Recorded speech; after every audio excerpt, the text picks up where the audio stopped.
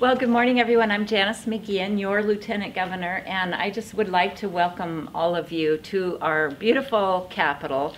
Idaho's new Lieutenant Governor, Janice McGeachin, is welcoming the six finalists for the annual speech contest of the Idaho Farm Bureau Women's Leadership Committee. I appreciate that you um, have made the time to come here and work to develop your leadership skills. It's so important that the people of Idaho, no matter which industry you come from, come to our capital and be engaged in the process of state government.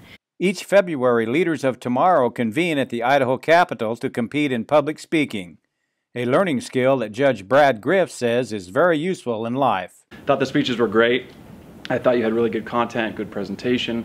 These are skills that will continue with you for the rest of your career no matter what you do. Katie Hediga, my I saying right? Yes. and she's from District 4. Katie Hettinga, a senior at Kuna High School and FFA member, was today's winner. Public speaking is important to Katie, who already has the future in focus. I plan this fall on going to the University of Idaho, majoring in agriculture economics, and from there I want to go on to law school to be a lawyer, and then I plan on running for the United States House of Representatives by the time I'm 28. I think that politics is a great way that I can use my public speaking skills that I've learned through FFA and through speech contests like this. Building leaders, one of the many objectives of the Idaho Farm Bureau. For the Voice of Idaho Agriculture, I'm Steve Ritter.